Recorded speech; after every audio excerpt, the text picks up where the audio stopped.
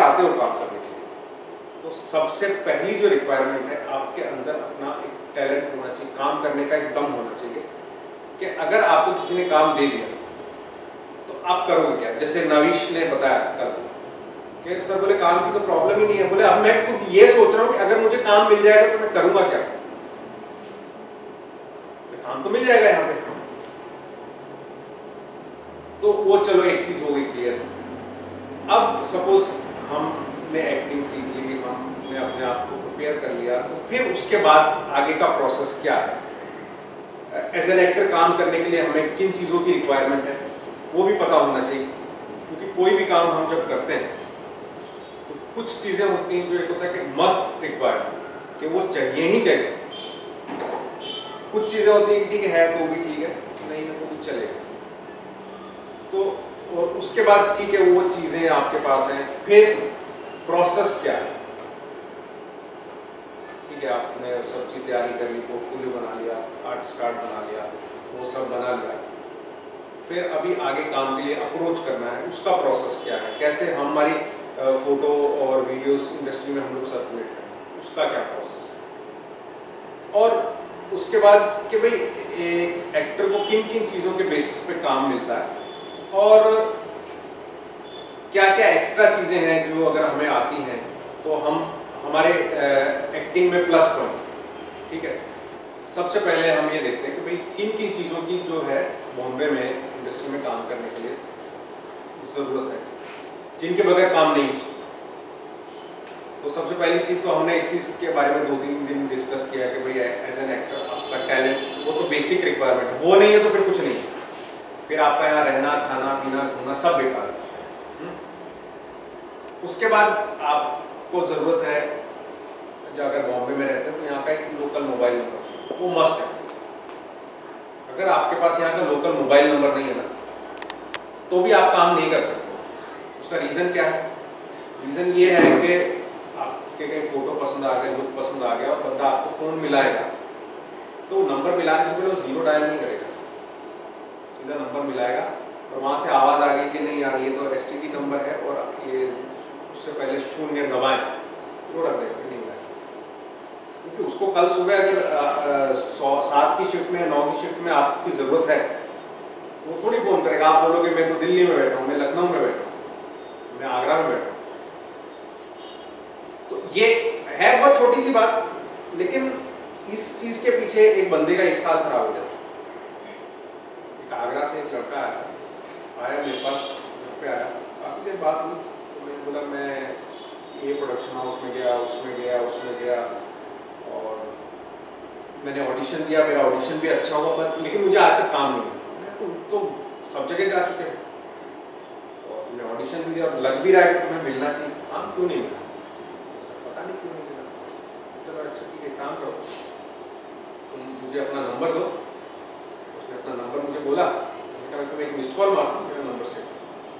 तो missed call मारी मैंने तो आ गया वहाँ से कि भाई ये नंबर तो ज़ीरो लगाना पड़ेगा, बाहर का नंबर ये नंबर कहाँ का है? ये तो आगरा का नंबर है। तो मैंने कहा तुमने यहाँ का नंबर नहीं लिया। उसने नहीं लिया। तुम्हें काम मिलेगा कैसे? एक साल के तुम्हारी ज़िंदगी में तुम्हें काम नहीं मिलेगा। क्योंकि कोई भी ज़ीरो डायल करके नहीं फ़ोन करेगा यार। तो छोटी सी बात है ये कोई ऐसी मतलब नहीं है कि बताने वाली बात लेकिन इस चीज़ के ऊपर भी बोले सर मुझे पता ही नहीं था। मैं तो एक साल से घूम रहा हूँ और यही नंबर दे रहा हूँ सर। और किसी ने मुझे बताया ही नहीं। कोई तो बताएगा नहीं ना तुमको? क्यों बताया? तो बॉम्बे आने के बाद सबसे पहले जैसे आपने घर लिया घर के बाद फिर आपने एक मोबाइल लिया यहाँ का लोकल नंबर लिया। उसके बाद फिर नंबर आता है आपके पोर्टफोलियो तो पोर्टफोलियो ज़रूरी है कि बीस हज़ार, पच्चीस हज़ार, ऐसा बने मतलब अपने हिसाब से कि ठीक है यार, अभी हमें, हम बहुत ज़्यादा स्टैब्लिश नहीं है। पहले हमें अपनी एक कैलिबर का पता चले। एक मिनिमम से शुरू करो आप। पाँच, दस अच्छे जो पोर्टफोलियो बनाते हैं प्रोफेशनली यही काम करते हैं। उनके पास जाओ। वो आपको बताएँगे।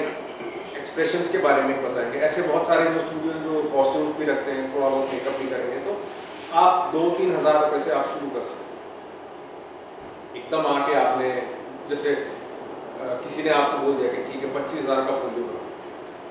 लेकिन वो पच्चीस हज़ार का फोलियो भी जब काम करेगा, जब आपके अंदर में टैलेंट ठीक है, आपने फोलियो बना लिया, पचास हज़ार रुपये का, सब hi fi makeup costume getup सब बना लिया। फ़ोटो में आप बिल्कुल एकदम कुछ और दिख रहे हो कि हाँ ये बंदा तो मतलब स्क्रीन पर फाड़ दे। लेकिन आपको जब बुलाएँगे कैमरा ऑन करेंगे, तब क्या होगा?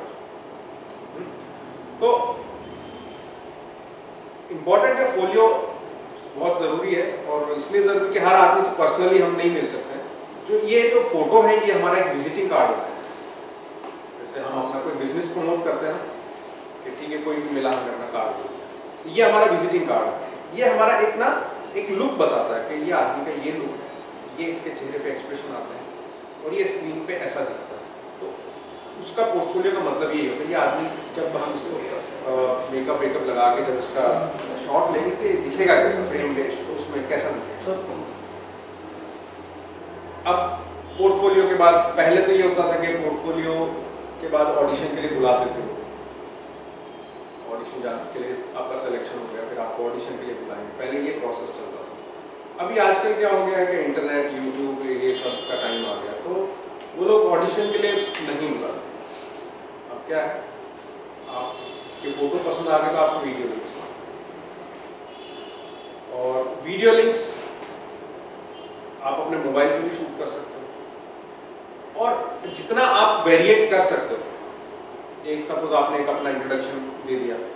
और इंट्रोडक्शन में आपने बता दिया कि ये मेरा नाम है एज हाइट ये सब आपने बोल दिया। जैसे आप मेरे पास भी आते हैं तो मैं भी ऐसे करता हूँ कि एक वीडियो हम इंट्रोडक्शन का शूट करते हैं कि इंट्रोडक्शन में आपने अपना नाम एज हाइट और अपना एक ब्रीफ डिस्क्रिप्शन और फिर ये कि भाई अगर मेरे लाइक कुछ काम है तो प्लीज़ मुझे इस नंबर पर कॉन्टैक्ट कर उसके बाद फिर हम क्या करते हैं, को कोई भी अच्छी उनकी परफॉर्मेंस है, एक, दो, तीन, जितना कर सकते हैं अलग अलग वेरिएशन में, जितना आप कर सकते हो अच्छा हंसने का, रोने का इमोशनल सैड गुस्से का, जितना आपके पास है ना मैटर उतना सब हम शूट करेंगे। आप दो वीडियो शूट करो, दस वीडियो शूट करो, और वो शूट करके फिर हम अपने यूट्यूब चैनल पर डालेंगे वो लिंक आप सब जगह भेजो।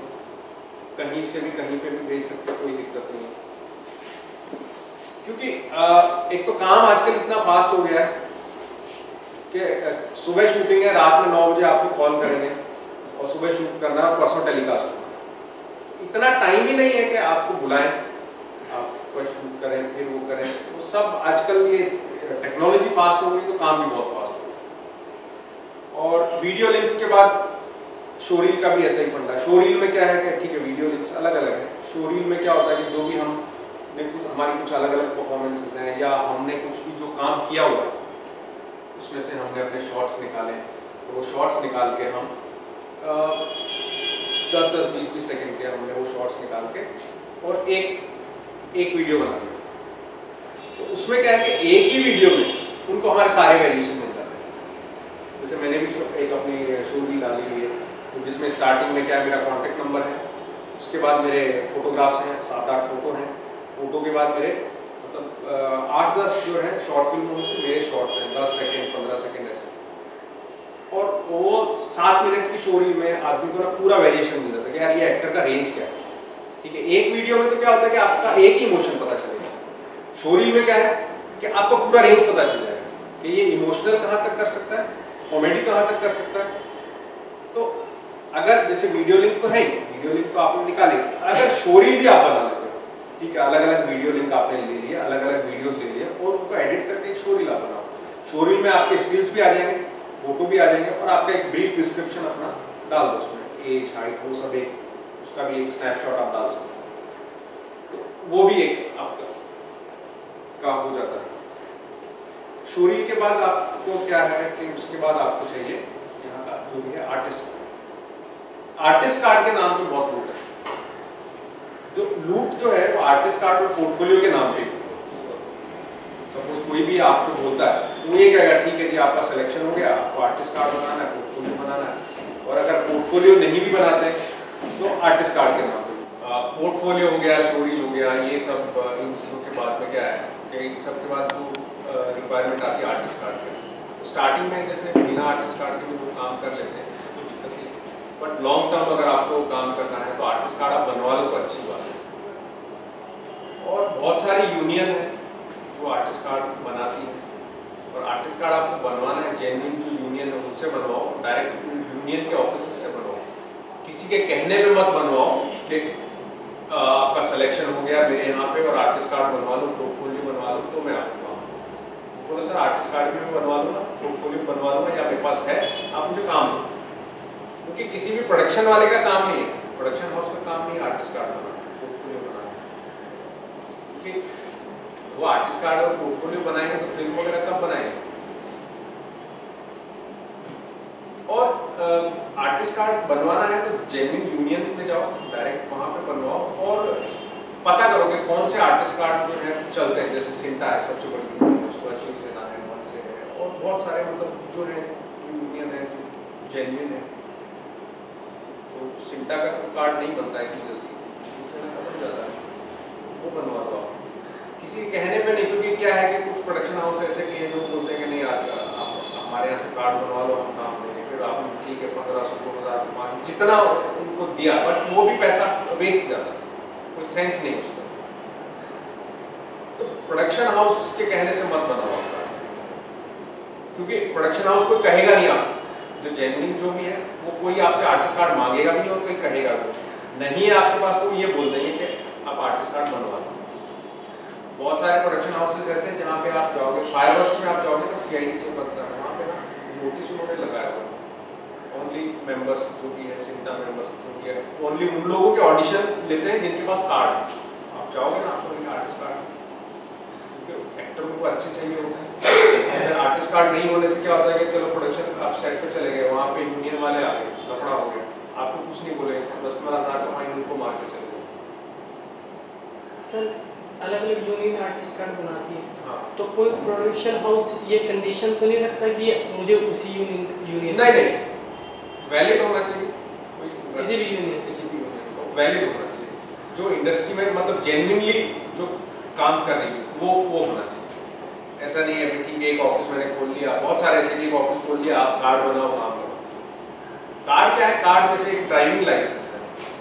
जैसे गाड़ी चलाने से पहले आपको लाइसेंस की ज़रूरत है। लेकिन लाइसेंस बनाने से ये नहीं कि आपको गाड़ी चलाने के लिए मिल ही जाए। वो काम आपको खुद ही ढूंढना, वो आपको खुद ही करना। हाँ आपका कार्ड बन गया, आप स्टूडियो में जा सकते हो। और बहुत सारी फैसिलिटीज़ जो आर्टिस्ट को मिलती है, उसके लिए आप एलिजिबल हो गए। बट काम उससे नहीं मिलेगा। वो एक हमारे पास यूनियन का बैकअप है कि ठीक है, कल को मैं सेट पे जाता हूँ, मेरे साथ तो बदतमीजी नहीं कर सकता मिसबिहेव नहीं कर सकता, मेरा पैसा कोई नहीं मार सकता।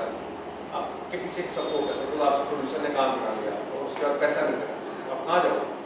आपके पीछे यूनियन का बैकअप आप करो कंप्लेन मेरा एक बार पेमेंट अटक गया था, छः सात हज़ार सात आठ महीने बाद मैंने तो देखा कि नहीं निकल रहा। कंप्लेंट लिख के दे दी कि भाई ये कंडी हुआ ऐसा ऐसा मेरा पेमेंट नहीं मिल रहा हफ़्ते में या दस दिन में पेमेंट मेरा मिल गया चेक वो के ऑफ़िस से जाकर मैं चेक ले आया तो आ सर कोई प्रूफ तो होगा जैसे मैंने काम किया ठीक है अब उनको काम पसंद नहीं आया तो उन्होंने मतलब इरेज कर दिया आपका काम। तो आप कंप्लेन क्या करेंगे सर देखो काम पसंद नहीं आया। आपने काम किया आप सेट पे गए और आपने काम किया और आप आ गए। और आपका काम उनको पसंद नहीं आया तो उस काम का वो कुछ नहीं कर सकते। अच्छा। उसका कुछ नहीं कर सकते। आपको दोबारा आगे नहीं बुलाएँगे। अच्छा। वो वो अलग बात है। बट उस काम का कुछ नहीं कर क्योंकि आपने वो काम किया तो उसका आपका हक बनता है। और क्या है कि प्रूफ की जो बात है। पहली बात तो आपने काम किया तो वो टेलीकास्ट होगा। सबसे बड़ी बात।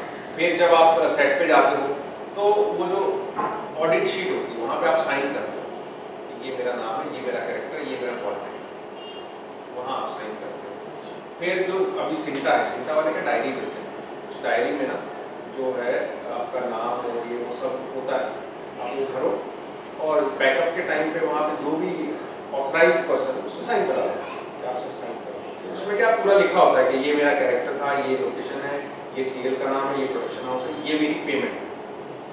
तो वो पेमेंट वेमेंट सब लेके आप साइन करा दो तो आप जब प्रूफ हो गया कि मैं काम कर रहा हूँ सिंटा में कभी भी जाएँगे ना कंप्लेंट करने के लिए वो डायरी मांगते आपका डायरी है डायरी डायरी की फ़ोटो स्टेट कॉपी लगा के लेटर लिखेंगे और भेज देंगे ये में या फिर ये ये डायरी वाला सिस्टम सिर्फ़ सिंटा और कहीं पे इसका ऑफ़िस कहाँ से?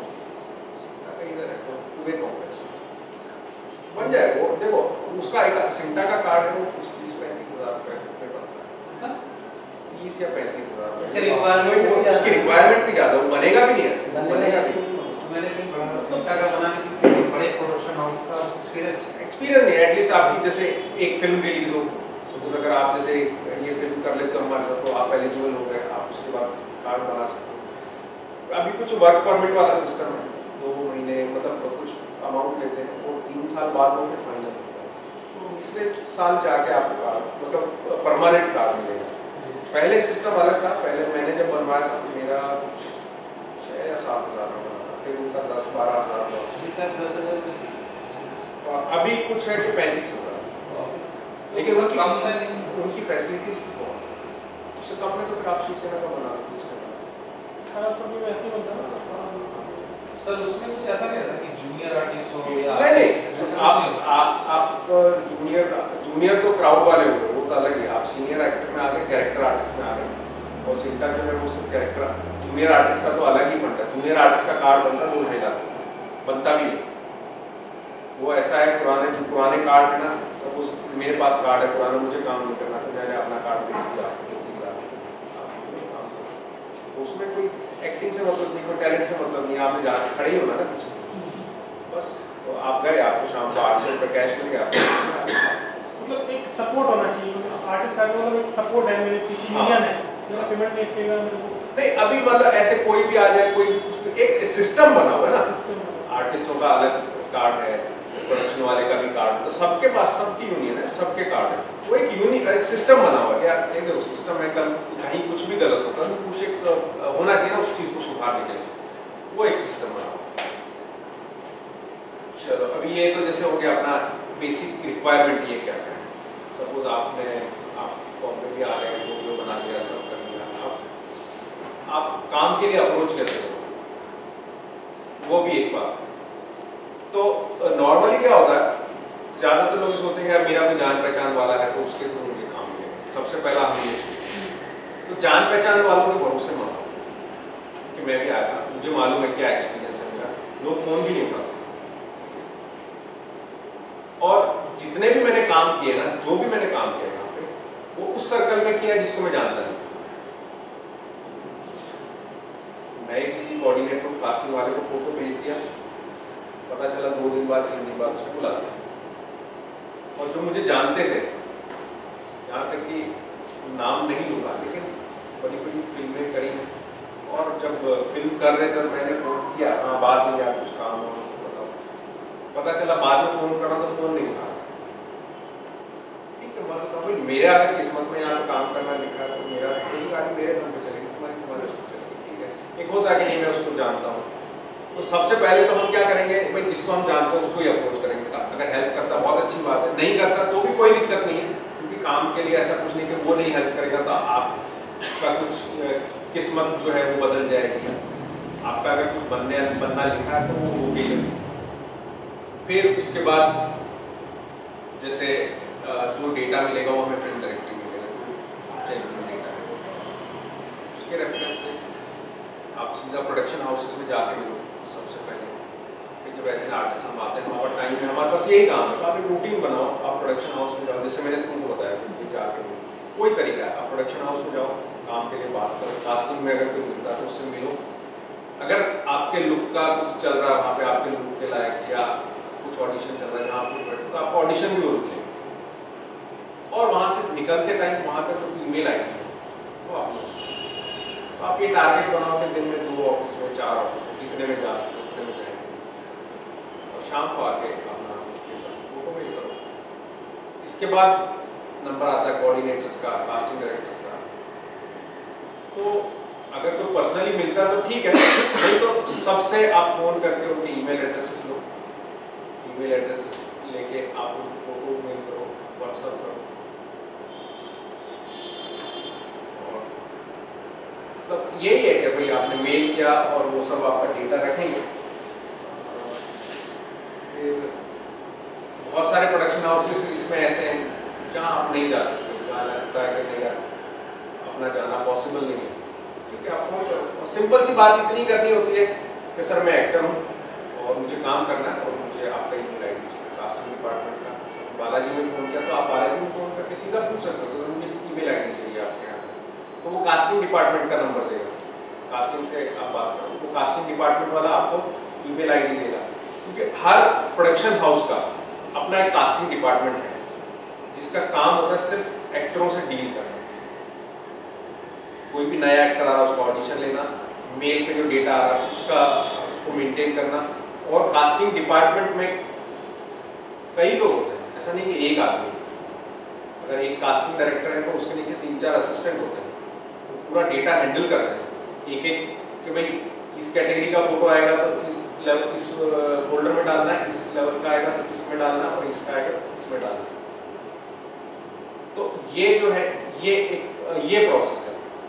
और यही करना हमें मतलब ठीक है, हमारा एक्टर हमने अपना एक्टिंग का तैयारी कर ली, फिर हमने आके अपना फ़ोटो वोटो सब मेल कर दिए और एक तरह से मार्केटिंग ठीक है, हमने अपना एक प्रोडक्ट तैयार कर लिया एज एन एक्टर हम एक प्रोडक्ट अब हमें अपने आप को बेचना है। तो वो सेल्समैनशिप का काम, वो हमें करना है।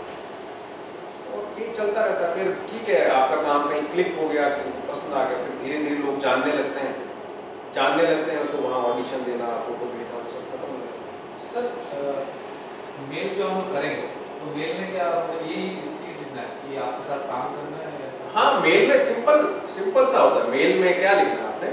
कि या तो कोई रेफरेंस अगर किसी के रेफरेंस से हो या ठीक है सर मैं आर्टिस्ट हूँ और मैंने ये काम किया है या मैंने ये सीखा है मैं ये कर सकता हूँ। ये मेरे फ़ोटो हैं और ये मेरे वीडियोस हैं और मैं आपके साथ काम करने की इच्छा है मेरी अगर आप मुझे चांस देंगे तो आपकी बड़ी मेहरबानी जो भी एक फॉर्मल लैंग्वेज और उसके पास भेजो।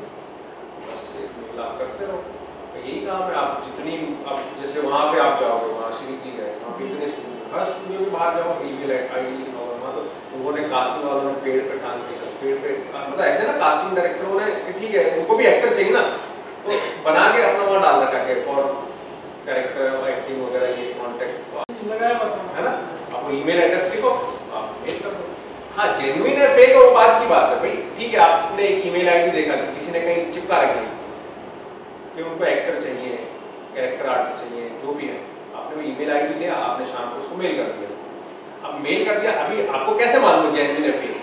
वो तो जब बाद में मालूम चलेगा ना आप मेल करो मेल करने के बाद जब वो आप जब सामने जाओगे तो पता चल ही जाएगा वो फिर आपके ऊपर है आपको करना है नहीं करना है वो अपनी उसकी अपनी कंडीशन है आपकी अपनी कंडीशन है। तो अगर आप नहीं मैच करते तो मत करो। कोई फोर्स नहीं करता। ऐसा नहीं है। अगर आपको कहीं प्रोडक्शन से या किसी कोऑर्डिनेटर का भी फ़ोन आता आप सोचोगे नहीं यार मैं मना कर दूँगा तो पता नहीं क्या सोचोगे। आप मना कर सकते हो। सर नहीं कर मैं फ्री नहीं सीधी सी बात है अगर आपको कोई काम में इंटरेस्ट नहीं सर मैं फ्री नहीं और अगर कोई कैरेक्टर आपको नहीं पसंद आता है मतलब नॉर्मली तो ठीक है यार, ठीक है रिलेशन खराब करना नहीं करना और नहीं तो कर लेते हैं। लेकिन लगता है कि बिल्कुल ही नहीं कर पाऊँगा तो मना करो, सर, मैं ये कैरेक्टर नहीं तो उसको समझ में आ जाएगा कि ये आदमी तो इस कैरेक्टर के लिए तो अगली बार फ़ोन नहीं करूँगा। ठीक है अच्छा एक्टर है, आदमी अच्छा है तो ठीक है, और दूसरे कैरेक्टर में ठीक है। और सर, मैं गुजरात में रहता हूँ, और मैं मेल करता हूँ गुजरात से। तो मैं ये यहाँ का लोकल नंबर दूँ कि वहाँ का ही दूँ अभी नंबर तुमको अगर बॉम्बे देखो बेस बॉम्बे में बेस तो बनाना पड़ेगा। हाँ। बॉम्बे बेस बनाना है तो नंबर बॉम्बे का ही रखना पड़ेगा। बॉम्बे का नंबर लेना पड़ेगा। तो जितने भी जो आप एक्टिंग के लिए जो भी मेल कर देना उसमें सिर्फ़ बॉम्बे का ही नंबर दो। ठीक है आप गुजरात में हो फ़ोन कोई करता था आप बोल सकते हो यार मैं नहीं आ सकता मैं बॉम्बे से बाहर। पहले ही बोल दो ना उसको। बोले पूछेगा सर कल आप फ्री बोले नहीं मैं तो बॉम्बे से बाहर मैं नहीं आ सकता। बात गई। बट नंबर आपने अगर एस नंबर दे दिया फ़ोन ही नहीं करेगा ना। वहीं पे। सर मुंबई का नंबर लिखे हाँ। अगर मैं कहीं और स्टेट में जाता तो वैसे भी स्टडी हो गया वो नहीं यहाँ से तो लोकल ही लगेगा नहीं लगेगा सर यहाँ से- लगाना पड़ता है। नहीं लगा नहीं नहीं लगा। लगा नहीं लगा अगर स्टडी नंबर का भी लोकल में ज़ीरो नहीं लगाना नहीं नहीं यहाँ से अगर मेरा मेरा तो पूरा ऑल ओवर इंडिया में कहीं भी जाऊँ तो सी ऐसे डायरेक्ट लगता है ना। अच्छा। सर स्टडी नंबर भी उसके भी ज़ीरो नहीं लगा वो ज़ीरो फ्री होगा एसटीडी पे नहीं लगता पता नहीं अभी मुझे आइडिया ज़ीरो फ्री उसका आइडिया नहीं नहीं वो एक्चुअली से अभी रोमिंग कटवाना पड़ता है। तभी वो ऑल ओवर इंडिया में क्या होगा आपका है। अच्छा, एक चीज़ और मैं एक इम्पोर्टेंट चीज़ और मैं आपसे अभी जैसे हमें हमने ये भी देख लिया कि कि मतलब क्या क्या चाहिए कैसे करना है वो सब। लेकिन जो बाहर से आने वाले लोग हैं ना उनके सामने बहुत बड़ी जो सबसे पहली जो बड़ी समस्या है वो है अकोमोडेशन रहेंगे कहाँ? कैसे रहेंगे कैसे घर कैसे मिलेगा और अ, अगर आपका रहने का अरेंजमेंट प्रॉपर हो जाता ना बॉम्बे में तो आपका समझो 50 परसेंट जो स्ट्रगल है वो खत्म हो गया। 50 परसेंट आपका स्ट्रगल खत्म हो जाता है अगर आपको एक अफोर्डेबल अकोमोडेशन आपको मिल गया। क्योंकि रहने की जगह मिलेगी उसके बाद ही बाकी सारे काम चलेंगे रहने की जगह मिलेगी तब आप मोबाइल नंबर लोगे फिर आप बनाओगे फिर आप तो जो बॉम्बे आने के बाद जो आपका प्लान ऑफ़ एक्शन है वो सबसे पहले ये है कि आपको घर लेना और घर मिलेगा कैसे? घर मिलने का यहाँ पे क्या डायरेक्ट नहीं मिलता रेंट पे ना? डायरेक्ट कोई नहीं देता। जो ब्रोकर है हर जगह मैक्सिमम जो काम ब्रोकर के थ्रू होता है। तो अब सपोज़ घर आपको रेंट पे लेना है कहीं पे, और घर का पाँच हज़ार रुपये रेंट है, पाँच हज़ार भाड़ा है मंथली तो उस पाँच हज़ार के ऊपर आपको तीस हज़ार से चालीस पचास हज़ार जो भी है, उनका एक डिपॉजिट लेते हैं। वो डिपॉजिट जाएगा। डिपॉजिट के बाद जो ब्रोकर है उसका कमीशन एक महीने का उसको देना पड़ेगा। एक महीने का पहले से दो महीने का था एक महीने दो महीने डिपेंड करता है एक महीने वो रेंट रेंट उतना वो लेता है। हाँ। और ब्रोकरेज एक महीने का उसको जाएगा डिपॉजिट जाएगा। बाकी फिर एक साल बाद ग्यारह महीने बाद वो एग्रीमेंट रिन्यू होगा। रिन्यू होगा तो फिर एक महीने का ब्रोकर को देना पड़ेगा। और हर साल जो दस परसेंट जो बढ़ता है वो एक सिस्टम है। तो अगर रूम रेंट पे लेना तो ये प्रोसेस है कि आपको डिपॉजिट देना एक महीने की ब्रोकरेज देनी। बट लॉन्ग टर्म में रूम लेना ज़्यादा बेटर है। कि रूम आपने ले लिया एग्रीमेंट आपके नाम से है तो आपको बैंक अकाउंट खोलना है और यहाँ कुछ भी काम करना है तो एक अच्छा मतलब ज़्यादा इफ़ेक्टिव काम है। आप, आपके पास अपना रूम है, कभी भी आओ, कभी भी जाओ, उसमें दो लोग रह रहे हैं, चार लोग रह रहे हैं। लॉन्ग टर्म के लिए वो ज़्यादा बेटर और ठीक है सपोज़ आप नए आए हो और आपको आप नहीं डिपॉजिट देना अफोर्ड कर पा रहे हो। डिपॉजिट नहीं दे पा रहे तो ठीक है, कोई जानने वाला है, किसी ने अगर रूम लिया तो उसके साथ आप पीजी में शेयर कर और नहीं तो पीजी अकोमोडेशन भी मिल जाता ब्रोकर के थ्रू स्टेशन पे मीरा रोड में या इधर कहीं भी उतरोगे तो स्टेशन में बड़े बड़े आप देखोगे पीजी अकोमोडेशन के बाहर से लोग आते हैं ना तो पीजी में रहते हैं। पीजी में क्या है डिपॉजिट देने का ज़रूरत नहीं है। जो भी है, चार हज़ार, पाँच हज़ार जो भी है। आप उनको रेंट दो एक महीने का आपको जो भी ब्रोकरेज आपको देना है वो दो रहो बट पीजी में क्या है? रेस्ट्रिक्शंस रहती हैं। उतना फ्रीडम नहीं, जितना अपने रूम में जो फ्रीडम है, उतना फ्रीडम नहीं है और ये ठीक है, आप आए, आपको आते ही रहना है और शुरुआत करनी है। तो पीजी अकोमोडेशन जो है वो बेस्ट ऑप्शन है। और फिर अभी क्या होता है कि सपोज़ अभी कोई लड़के ने किसी ने रूम लिया मेरे साथ, कोई है नया आया, उसने रूम ले लिया। अब उसने रूम ले लिया डिपॉजिट दे दिया। अब कोई ऐसा लड़का आया कि जिसके पास डिपॉजिट देने को नहीं है। ठीक है भैया रेंट शेयर करके एडजस्ट कर। ऐसे भी लोग करते हैं कि ठीक है एक ने डिपॉजिट दे दिया रूम ले लिया। बाकी तीन लोग और साथ में आ गए, उनसे खाली रेंट ले रहा। तो इनको ये हेल्प हो गई कि इनको डिपॉजिट नहीं देना पड़ा। तो उसको ये हेल्प हो गई, उसका रेंट शेयर ठीक है ना सपोज़ पाँच हज़ार में रूम लिया और पचास हज़ार डिपॉजिट उसने दे रखा। ये आए कि इन्होंने कहा कि भाई मैं ठीक है पर हेड दो हज़ार लूँगा या तीन हज़ार लूँगा तीन हज़ार में हुआ तो तीन लोग मिल गए। तो तीन हज़ार के हिसाब से नौ हज़ार उसको मिला। तो उसका अपना भाड़ा निकल गया, खर्चा भी निकल गया। इनको बेनिफिट ये है कि इनको एक तीन हज़ार रुपये दे के विदाउट डिपॉजिट दे के बिना किसी टेंशन के एक जगह करते हैं लोग जो बाहर से, ऐसे ही करते मैनेज ऐसे ही करना। और बॉम्बे आने के बाद जो है, जो एक प्लान ऑफ़ एक्शन है वो यही है कि आप आओ, सबसे पहला काम है आपको अपना अकोमोडेशन का अरेंजमेंट अकोमोडेशन हो गया, फिर उसके बाद आप अपना एक नंबर लो मोबाइल नंबर लो कहीं भी फ़ोटो खिंचवाओगे तो नंबर तो वही देना पड़ेगा। नंबर लिया, फिर आप अपना फ़ोटो खिंचाओ पोर्टफोलियो बनाओ। फिर जो है आप अपना वीडियो लेंगे स्टोरी फिर आप जो है आगे का प्रोसेस मिलना, जुलना, उसके बाद आप क्योंकि उस सिस्टम में। ऐसा नहीं है कि आप पहले आते ही तो नहीं काम कर सकते। पहले रहने का अरेंजमेंट करोगे वो सब सेटल करोगे वो सबसे और ये सब सेटलमेंट के लिए जो भी है, आपको मेंटली ये सब इसलिए बता रहा हूँ कि आप जब आओ तो मेंटली फाइनेंशियली सब प्रिपेयर हो जाओ कि नहीं यार, इतने दिन रहना रूम लेना तो इतना खर्चा है, और ये काम में इतना खर्चा है, ये चीज़ में इतना है, और इतने टाइम में अपने को जो है रोलिंग अपनी चालू हुई वो हमको कैसे है क्योंकि प्रॉब्लम कहाँ आती है? कि ठीक है, किसी ने कह दिया यार तुम्हारी शक्ल शाहरुख खान से होगी तुमको हीरो बन सकते हो। आप आ गए वहाँ से। दो हज़ार बजट में डाले, आप आ गए। यहाँ आप जब स्टेशन पे उतरता है इंसान तो सबसे पहला सवाल होता है कि कहाँ जाना वो जो सपने लेके आया होता है ना कि बॉम्बे जाएँगे तो होता कि नहीं, यार, वापस उसको वो फलाना प्रोड्यूसर मिल गया था, उसने साइन कर लिया, फिर ऐसा कर लिया। तो जो छोटे शहरों में या मतलब गाँव देहात के लोगों के दिमाग में ना यही चीज़ें होती हैं। उनको ये नहीं पता होता कि यार कोई बॉम्बे जाके कितना बड़ा है, बॉम्बे जब स्टेशन पे जाएँगे तो समझ में ही नहीं आएगा। मैं जब पहली बार आया था तो मेरी वाइफ ट्रेन में से बाहर देखी ये क्या हो रहा है? इतनी भीड़, ये सब क्या है? धीरे धीरे सेट होते होते। तो वो प्रिपरेशन बहुत ज़रूरी मतलब फाइनेंशियली ना बैकअप होना बहुत ज़रूरी है। नहीं तो पता चला आप में टैलेंट भी है, आप कर भी सकते हो और आपको फाइनेंशियल बैकअप अगर गड़बड़ा गया तो फिर तो कोई प्रैक्टिकल उसको आप नकार नहीं सकते हो। आप ये नहीं बोल सकते हो कि नहीं यार, ठीक है आप में टैलेंट है, बहुत टैलेंट है बट ठीक है टैलेंट दिखाने का मौका मिलेगा तब दिखाओगे ना। दिखाने का मौका मिले आपको दो महीने, चार महीने, छह महीने तो टिकना है। हाँ एक बार काम मिलना शुरू हो जाएगा, फिर आपकी बोलिंग चालू हो जाएगी फिर आपको दो महीने में पेमेंट आना शुरू हुआ फिर आपकी पेमेंट शुरू हो जाएगा तो ये जो चीज़ें हैं ये जितना भी मैंने ये प्रैक्टिकल जो है काम करने का एक तरीका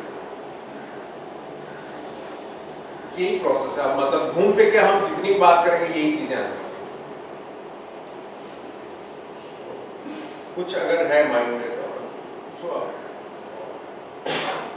अकाउंट का हाँ? बैंक अकाउंट वहाँ खुला हुआ है तुम्हारा? हाँ ठीक है ना चलेगा ना हाँ जो यहाँ पे करना चाहते हैं उनको अकाउंट तो अकाउंट तो सबने खोला ही होगा। हाँ वो डॉक्यूमेंट जो है सबका अकाउंट ही है। अकाउंट अकाउंट अकाउंट हो बैंक अकाउंट पैन नंबर ये सब चाहिए। कई प्रोडक्शन हाउस के टीडीएस काट के भी चेक देते ना। तो बैंक अकाउंट भी आपको होना चाहिए। तो अभी जैसे हमने ये सारी चीज़ों के बारे में डिस्कस किया एक्टिंग के बारे में यहाँ का प्रोसेस क्या है क्या आपको चाहिए रूल कैसे मिलेगा ये सब चीज़ें। तो अब जो है, सबसे इम्पोर्टेंट चीज़ ये है कि जब भी आप यहाँ आते हो मेंटली फिजिकली फाइनेंशियली सबसे इम्पोर्टेंट फाइनेंशियली प्रिपेयर होना बहुत ज़रूरी बैकअप होना बहुत ज़रूरी है। क्योंकि यहाँ आने के बाद जो भी आपको टाइम लगेगा, दो महीने, चार महीने छः महीने, उतने टाइम आपका फाइनेंशियल बैकअप टूटना नहीं चाहिए। पता चला आप में टैलेंट है, बहुत है, काम कर सकते हो, लेकिन यहाँ आने के बाद, यहाँ टिकने के लिए आपके पास फाइनेंशियल बैकअप पता चला उस वजह से आपको वापस जाना और प्रैक्टिकल रिक्वायरमेंट है, इसको हम इग्नोर नहीं कर सकते। प्रैक्टिकल से भाई आप एक्टर बनने आए हो। एक्टर बन के बनने आए तो अपने लिए बनने आए ना, किसी और के लिए तो बनने नहीं आए तो कल को अगर कमाओगे तो आप ही कमाओगे, नाम होगा आपका होगा, पैसा कमाओगे आप कमाओगे, किसी और को तो देने वाले नहीं तो आप ये मत एक्सपेक्ट करना कि कोई किसी तरह की आपकी कोई हेल्प करेगा इंडस्ट्री अच्छी है, लोग अच्छे हैं तो वो काम के लिए अच्छे हैं। लेकिन आपकी पर्सनल प्रॉब्लम कोई सॉल्व नहीं करेगा। आपको काम के लिए हेल्प कर देंगे, लेकिन आप अगर किसी को ये बोलोगे भाई मेरे पास खाने के लिए पैसे नहीं या मेरे को तो वो चीज़ कोई सॉल्व नहीं कर सकता। तो वो एक मेंटली आपको प्रिपेयर होना है फाइनेंशियली आपको प्रिपेयर होना है कि आप यहाँ आओ तो ये सोच के आओ कि नहीं, मुझे, मैं इतने दिन में मुझे काम मिल जाएगा, इतने दिन का मेरा ये बैकअप है। और डिपेंड करता हो सकता है आप आए और आपको दस दिन में काम मिल गया। ऐसा भी हो सकता है आप आए, आपने अपना जो पोर्टफोलियो ये सब तैयारी की और आपने अपना, आपने सबमिट किया? काम मिलना शुरू हो गया। तो ये सब चीज़ें बताने का मतलब कि आपको अब किसी तरह का कोई कन्फ्यूज़न नहीं है, कोई कन्फ्यूज़न कोई डाउट नहीं है। ठीक है तो कल हम क्या करेंगे, एक जो ऑडिशन का जो फॉर्मेट होता है ऑडिशन कैसे होता है, वो हम एक देखेंगे और सबका एक एक ऑडिशन करेंगे और जो अच्छे जो ऑडिशन मुझे लगेंगे कि हाँ इनको यूज़ किया जा सकता कहीं पे तो वो फिर मैं अपने यूट्यूब चैनल पर डालूँगा। और फिर उसमें आपको ये पता चल जाएगा कि नहीं, अभी हमें आगे क्या करना और फिर आप लोग खुद डिसाइड करो कि हमें क्या करना काम हमारा भी है, हमारे पास भी है इंडस्ट्री में काम अब मतलब कोई किसी से पूछने की ज़रूरत नहीं है, किसी से मतलब सलाह लेने की ज़रूरत नहीं है। अब जो है सब आपके सामने।